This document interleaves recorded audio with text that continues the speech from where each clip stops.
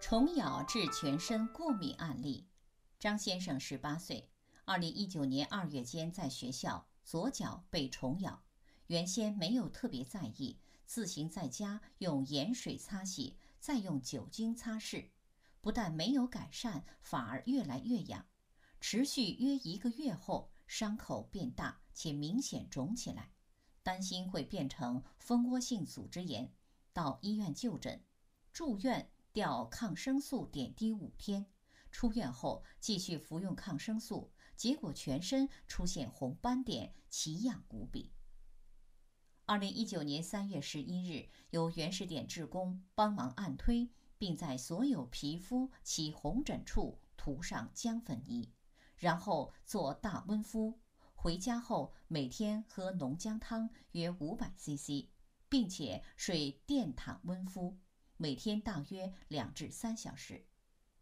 脚上的伤口因为一开始有一些血及组织液流出，并且有一点溃烂，处理时先撒干姜粉，靠近伤口的皮肤红肿部分则涂抹姜粉泥，直到伤口表面没有出血及组织液时，改为涂姜粉泥按摩，并放暖暖包隔层布温敷患处。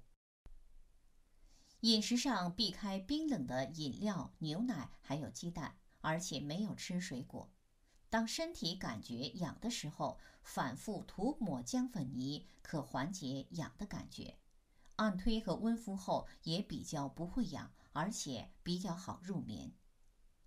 前后三十五天比对。二零一九年三月十一日，第一次接触原始点。三月十四日，以原始点方式处理四天后，身上红肿情况改善，程度减轻。三月十五日，脚上的伤口愈合。三月二十二日，脸上红斑点改善很多，只剩色素沉淀，脚上伤口开始结痂，只有一点点小伤口在流血。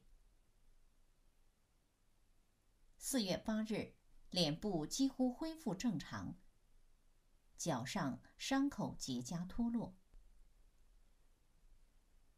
四月十五日，脚上伤口全部愈合。